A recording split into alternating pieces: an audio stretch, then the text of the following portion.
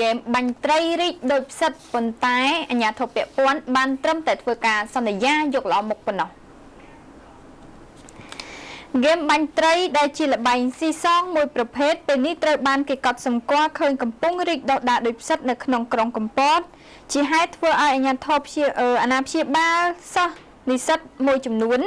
ព្រួយបារម្ភនឹងត្អូញត្អែពីការដែលកូនកូនរបស់ពួកគាត់លងខ្លួនក្នុងវងល្បែងនោះ យោងតាមសេចក្តីរីកាពីវិជាប្រថាលបែងហ្គេមបាញ់ត្រីទាំងនោះមានទីតាំងនៅក្នុងសង្កាត់អណ្ដូងខ្មែរក្រុងកំពត គឺទី1នៅកុលស្ពានឥន្ទនូទី2គឺនៅកែងរោងចាក់ស្បៃជើង ក្បែរផ្ទះសំណាក់ពិភពថ្មី និងទី3នៅកុលស្ពានកំពង់បាយមុខផ្ទះប្រធានក្រុមប្រឹក្សាខេត្ត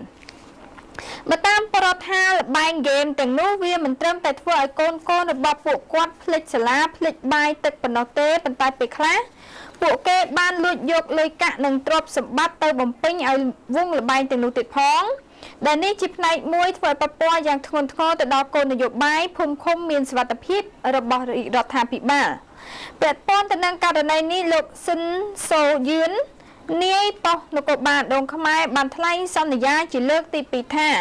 លោកនឹងចោទត្រួតពិនិត្យទីតាំងទាំងនោះចំណែកលោកអ្នកសវណ្ណរីអភិបាលក្រុងកំពតបានថ្លែងថាលោកអត់បានដឹងច្បាស់ដែរហើយថានឹងឲ្យមន្ត្រីរបស់លោកចោះត្រួតពិនិត្យ